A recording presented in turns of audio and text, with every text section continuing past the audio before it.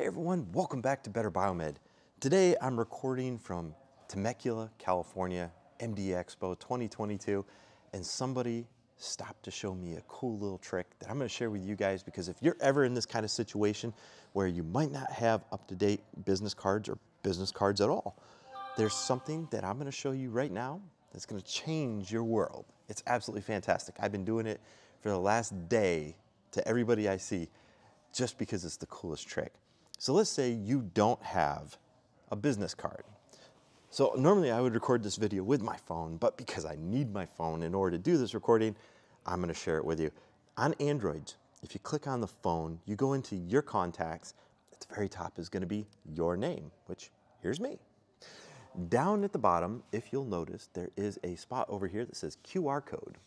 If you press the QR code, up pops all your information. Now what I did is I did a screenshot of it, but somebody showed me that all you gotta do is come down here and hit the share button and you can also save it as an image, but you can also edit the info. So you can edit what you want people to be able to acquire from your QR code. How crazy is that?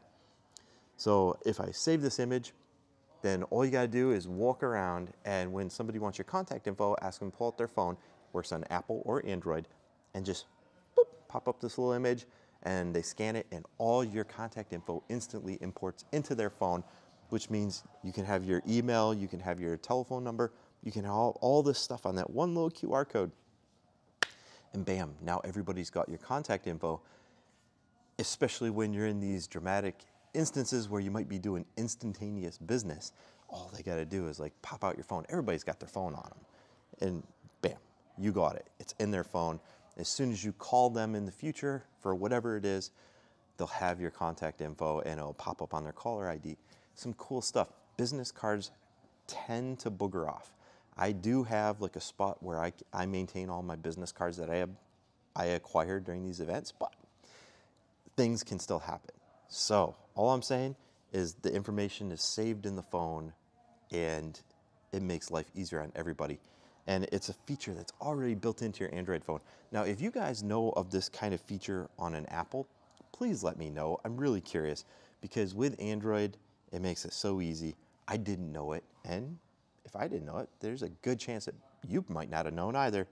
So just want to share with you guys real quick and easy, sharing your contact info, the digital business card. How cool is that? I'm extremely thankful that somebody shared this to me at this convention because I've had this capability probably for years, didn't even know. Anyway, guys, thanks for watching. I hope you learned something. And if you like this kind of video, go ahead and give me a thumbs up. It improves the YouTube algorithm and lets everybody easily find my videos, to say the least. Thanks, guys.